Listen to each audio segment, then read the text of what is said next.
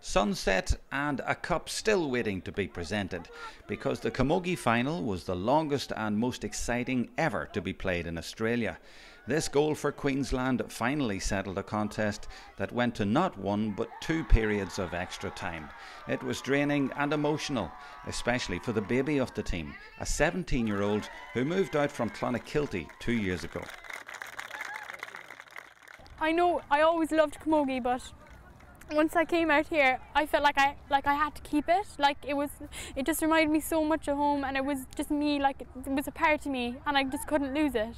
And being able to play it out here is like I'm lucky because there's some people that can't.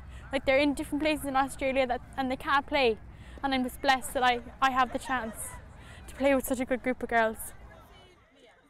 Another Cork woman was on target for Victoria. Regina Curtin, a former All Ireland winner in both camogie and football, now on the losing side to Western Australia in the plate final, but taking a wider view of the occasion.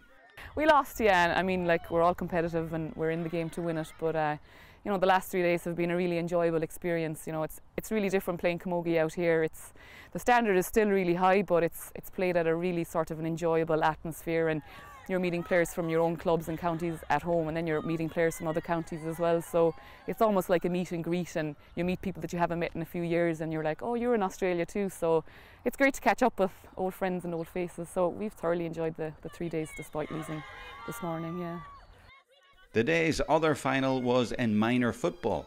Two teams made up mostly of homegrown Australians. South Australia in red from Adelaide and Victoria in black. They put on a hugely enjoyable showpiece with open football the order of the day, and the cup going to a proud captain with roots in the rebel county. Ah, uh, well, I mean, come down this Gaelic Park all my life really, and um, been playing this for four years, it's absolute means the world to me. I mean, so I've wanted most of my life really, be captain and to take our team to victory. And yeah, did that, so I'm very happy.